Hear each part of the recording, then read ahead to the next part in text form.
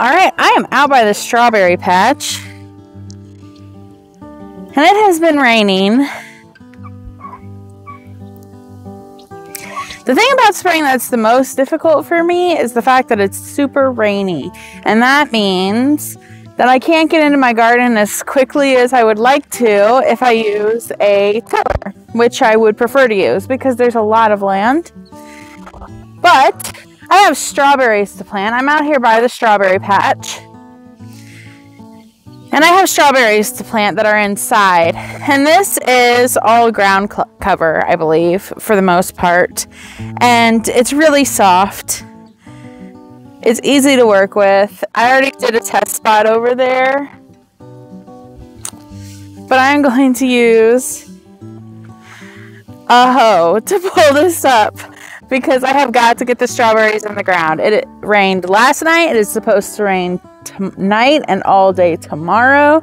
Then we have one day of rest, and then we're supposed to get another three days of rain. And then we have two days rest and get another two days worth of rain if the forecast is correct. So I don't have enough time with these strawberry plants to wait around and not do anything. So I'm going to try and get as many planted in this space that I'm going to be hoeing up today and tomorrow. Probably just today for the most part. Um, so I'm going to try and get as much space hoed up today and get so I'm going to try and get as much of this space turned over today and then hopefully plant some strawberries after that. It obviously, my strawberries have been expanding and will continue to expand. This area seems to be a really good place for them and this is really easy to just dig out. So I'm to be doing that today because I can't get my tiller going in this muddy mess.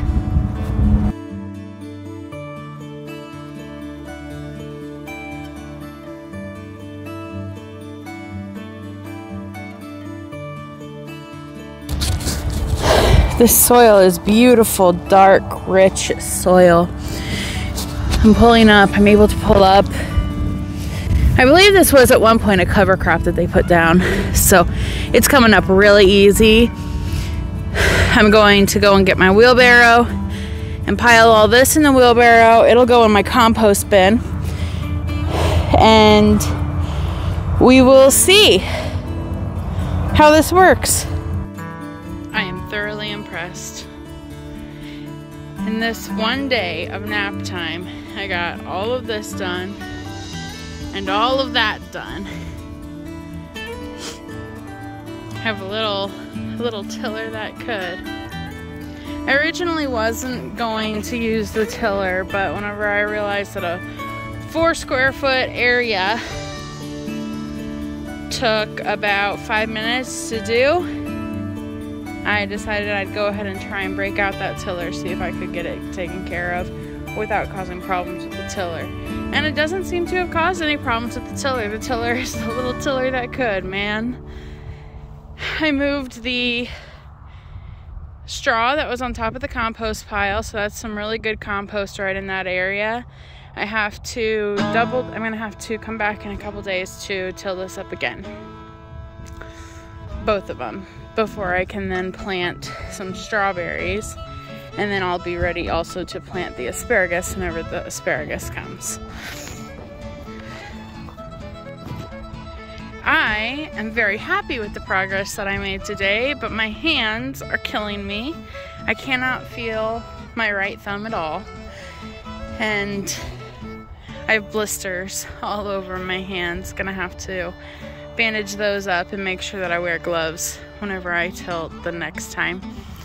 Tomorrow I'm not going to be able to till because it is going to be raining.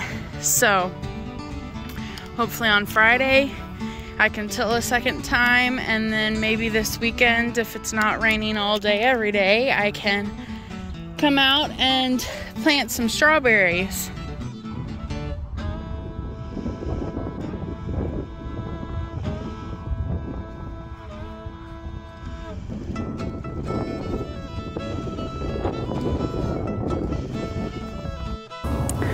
Now that we have successfully tilled up the whole area for the strawberries and the asparagus that's on the way and the rhubarb that we're going to get soon, I think.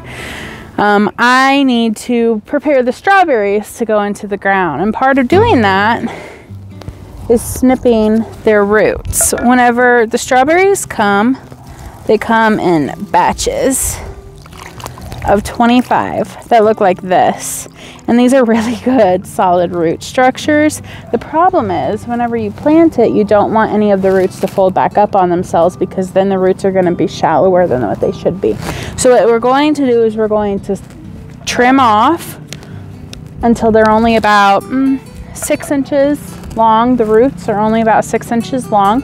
And then we can put them back in the water. This is just a bunch of water in this bucket. We can put them back in the water until all of them are done. I have here 75 because each of these is 25. Um, I've already planted 50. So we're going to plant these, get them in the ground before all of the uh, nice, I say nice, before all of the rain comes this week. And hopefully they'll get pretty established pretty soon.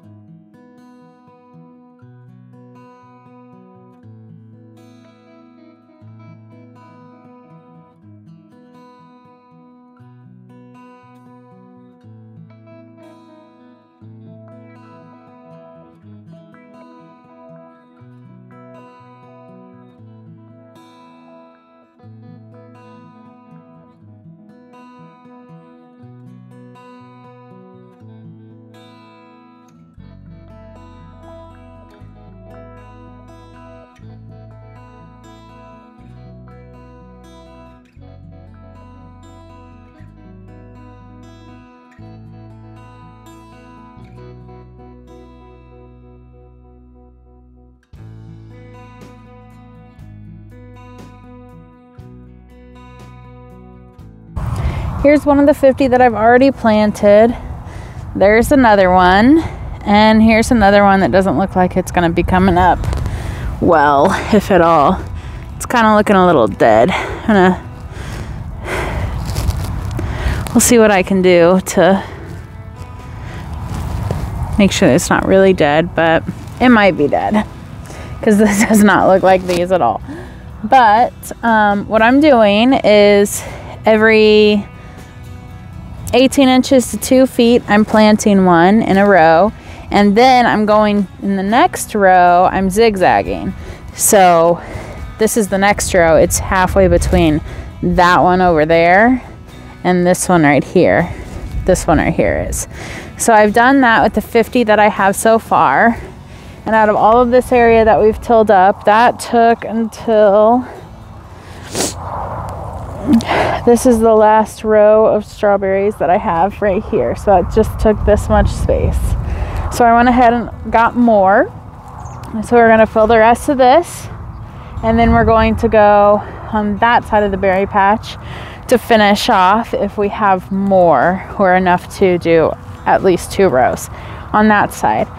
We have some strawberries here and they have not come back yet. They're working on it. They're getting green. Um, and these are, my understanding is, these are early fruiting strawberries. The ones that we are planting are called everbearing. So they will be all season long. They will be producing. And eventually, this whole area, all of this, is going to be ever-bearing strawberries because they will spread out just like those strawberries did. And we will have a massive strawberry patch, which will hopefully give us plenty of berries. I have not yet done anything with this patch. I'm going to see what it does for me this year, if it does anything for me this year, before I add much to it. I know it needs it needs something. I'm just not sure what. Um, I haven't gotten my soil tested here yet, so we'll have to see what exactly it needs in order for these strawberries to start producing because uh, my understanding is these strawberries have not been producing well. So we went ahead and we're planting more because berries take a little while to grow. Um, and then we will see we will see how in a couple years these things do. All right, I have them all spaced out. I did not have enough to do any on the other side of the strawberry patch. So this whole area is going to be filled with ever-bearing strawberries. But um, I still have to plant over half of them. So I'm going to start doing that now. I have my handy dandy spade. And the trick to this is to make sure that you dig a hole that's long enough for the entire root to go directly down. We don't want anything to kind of sit down on it and instead of being straight, it going out either way and then possibly curling up on itself. That's not what we want. So we are going to dig a hole deep enough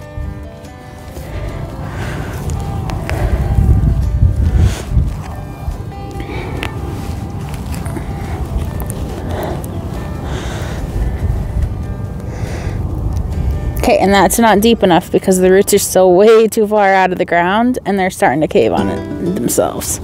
Curve on themselves, I guess.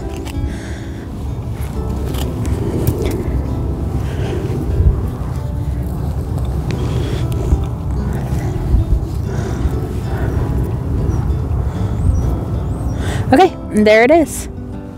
So the roots are straight down. So now all I have to do is fill in with some dirt.